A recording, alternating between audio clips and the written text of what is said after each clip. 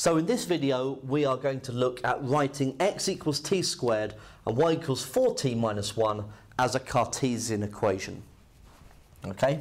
Now, I said in the previous video that there were going to be some restrictions, okay? And this is where the, they come in.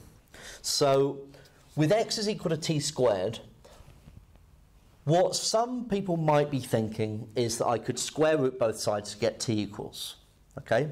But that brings about the plus minus, and that is something we want to avoid. So we're not going to go from this equation and then substitute into this one. It is going to be much better, much better idea to go from this equation and substitute into this one. So, I'm going to rearrange this to get t equals, so t equals y plus 1 over 4, and then I'm going to substitute this into the first equation. So I'm going to get x equals y plus 1 over 4, that's t squared. Okay? And that's the way that I would want to write it.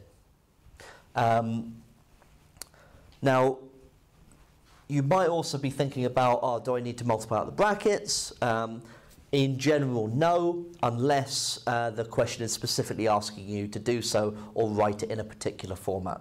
Otherwise, I would leave it as it is.